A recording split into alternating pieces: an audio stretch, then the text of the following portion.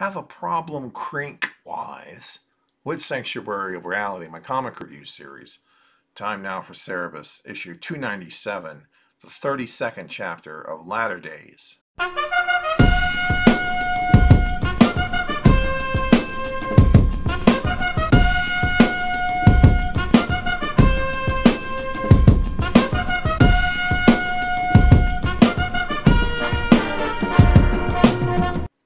Cerebus, faced with either signing an insulting statement from the Upper Feldens confirming the need for a chaperone, or not seeing his son at all, pulls up his pants and diaper and makes his way over to the door, slowly picks up the pen and paper, then heads over to sit on a step stool and prepares to sign the statement.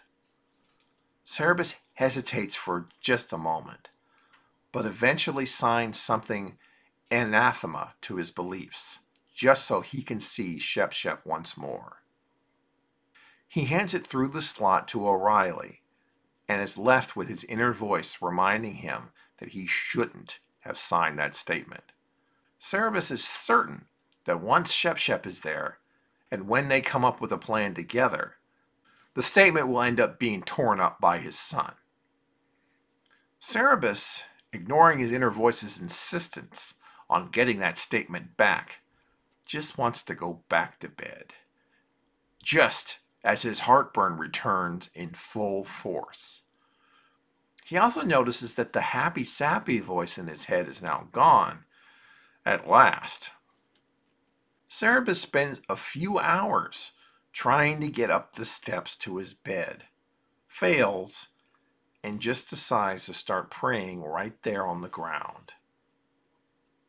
After prayer, will Cerebus finally be able to successfully ascend the steps to his bed?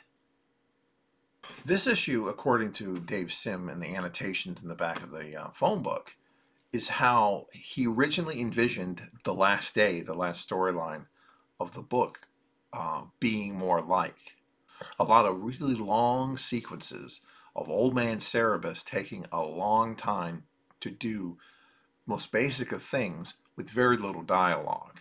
That's how he originally envisioned it to be, kind of like how this issue is. But thankfully, only this issue is like that for the most part. So it works here because it's limited to just here.